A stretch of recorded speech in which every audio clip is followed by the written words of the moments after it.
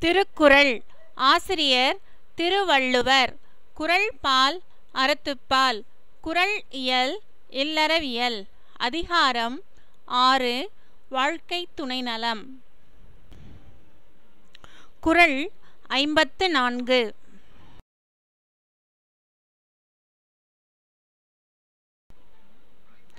பெண்ணின் பெருந்தக்க யாவுள கற்பென்னும் திண்மை உண்டாகப் பெறின்.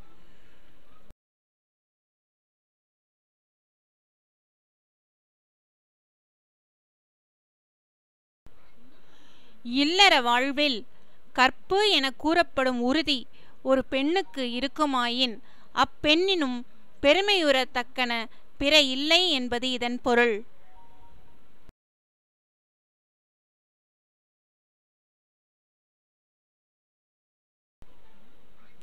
பெண்ணின் பெருந்தக்க யாவுள கற்பென்னும் திண்மை உண்டாகப் பெறின். நன்றி.